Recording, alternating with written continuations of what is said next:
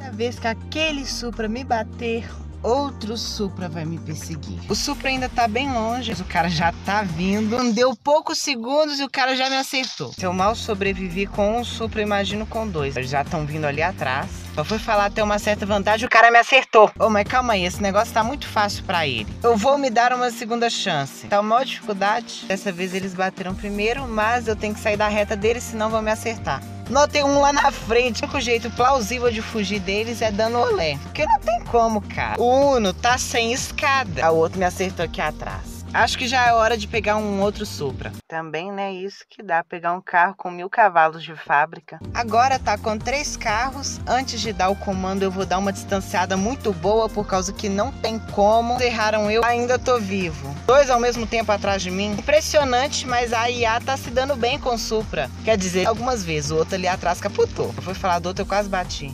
Ah, não, não, não, não, não, não, não. Ah, que coisa! Mas pra que tanta violência? Isso aqui tá virando impossível, é. Tá ficando mais do que desproporcional pro Uno. Isso tudo porque ele tá sem escadas. Opa, olé! Eu acho que eu nunca dei um olé tão grande na minha vida aqui no Simple Car Crash. Ó, o outro vindo só na raiva.